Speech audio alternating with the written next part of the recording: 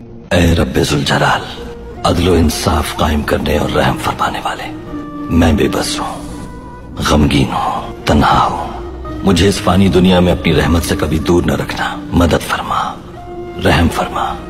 सिर्फ़ तुझी से मदद माँगता हूँ मैं, और तेरी ही इबादत करता हूँ। ये जान, तेरी अमानत है। हमें किसी हाल में तन्हा मत छोड़ना यार आमीन।